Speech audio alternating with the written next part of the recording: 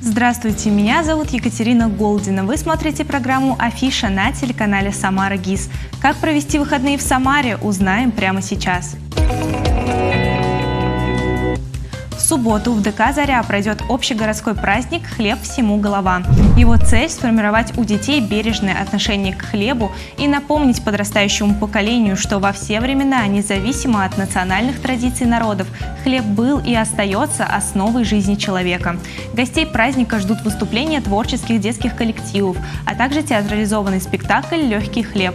В конце праздника гостей угостят свежей ароматной выпечкой. Начало в 11.30 музее Эльдара Рязанова пройдет очередная лекция цикла «История жанра в зеркале советского кино». В субботу, 28 октября, речь пойдет о подростковой драме. Как выстроить диалог с поколением, которое уже не дети, но еще не взрослые? Феномен подростковой драмы вырастает из этого вопроса, на который редко находится убедительный ответ. Художественные особенности и социальное значение жанра рассмотрят на примере фильмов Динары Асановой «Не болит голова у дятла», «Ключ без права передачи», «Пацаны» и других. Начало в 17.30. Поход в театр сможет украсить любые выходные, тем более, если это пьеса классика русского театра Антона Чехова. В субботу в театре «Самарская площадь» покажут «Чайку».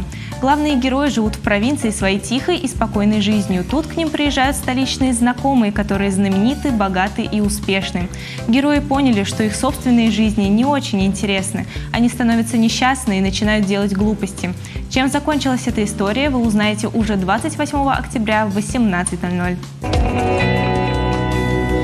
В воскресенье музей-галерея «Заварка» приготовил для гостей особенную программу. Ее просветительская часть начнется в 16.00 на втором этаже дома Маштакова.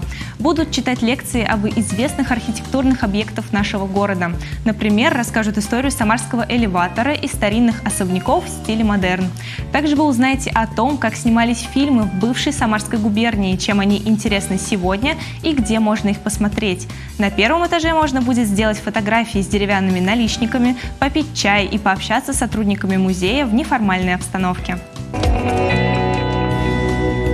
этом у меня все. Выбирайте то, что больше по душе и отправляйтесь отдыхать. Всего вам самого доброго. Увидимся на следующей неделе.